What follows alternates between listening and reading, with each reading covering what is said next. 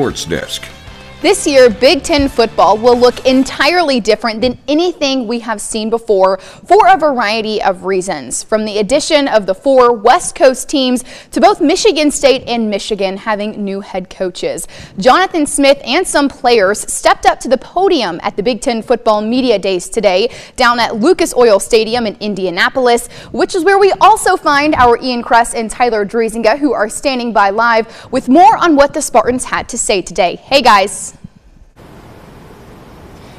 Hey Haley, yeah, with all the off-field issues Michigan State had last season centered around former head coach Mel Tucker, and then the on-field issues they had going four and eight. After talking with the players today here at Big Ten Football Media Days, it's safe to say the players are ready to move on. Yeah, it's time to turn the page, and Jonathan Smith is hoping the new chapter starts by creating cohesion between the two groups of Spartans, those who were already here and those that he brought with him. Yeah, and for junior returning defensive back Dillon Tatum, he was very open with us today about about why he is buying into the culture Smith has brought to East Lansing.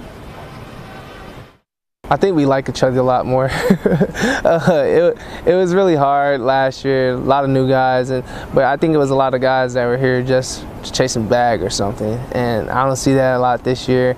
A lot of good people that are willing to, you know, put your their first foot forward or put their face in the fans for a guy and, and go tackle the guy as hard as they can, all because they trust the dude behind them. We've had some new guys arrive this summer, right? And so some guys that have been here, new additions in January, new additions in the summer. We need to come together and, uh, and really build a, a unified team.